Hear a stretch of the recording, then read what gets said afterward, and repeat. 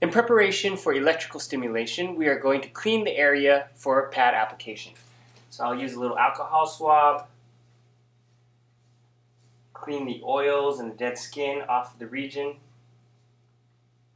Up here.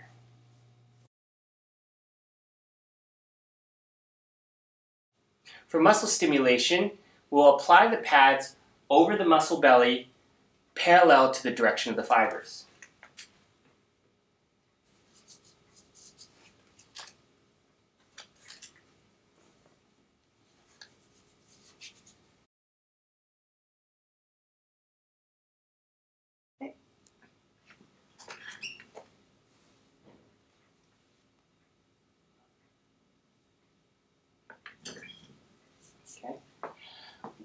Patrick, what you're going to be feeling is beginning of a tingling.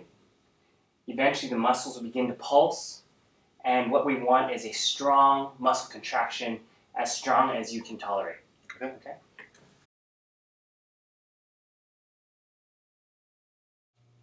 All right, Patrick, what you're going to start feeling is some tingling as I start the device, and then some gentle muscle contractions, and eventually a very strong muscle contraction. We are going for muscle strengthening here, so we want as strong as a contraction that you can tolerate. It may be a little bit uncomfortable, but it shouldn't be painful. Okay? Okay.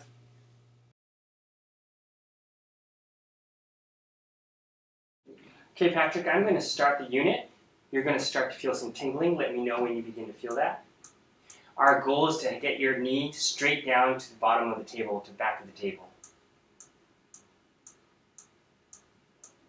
Start feeling it now. Okay, so you're beginning to feel some tingling. We're going to keep ramping it up. We want a strong muscle contraction.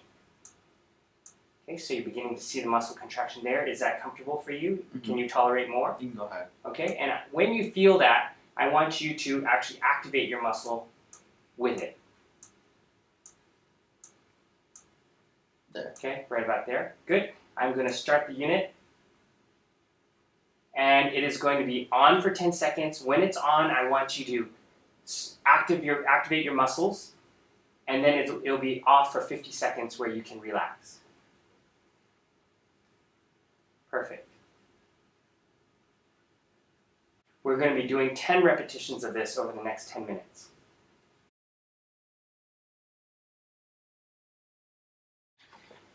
Now that the treatment is completed, we'll remove the pads carefully and assess for any adverse reactions of the skin, redness, rashes, any lesions that may have occurred.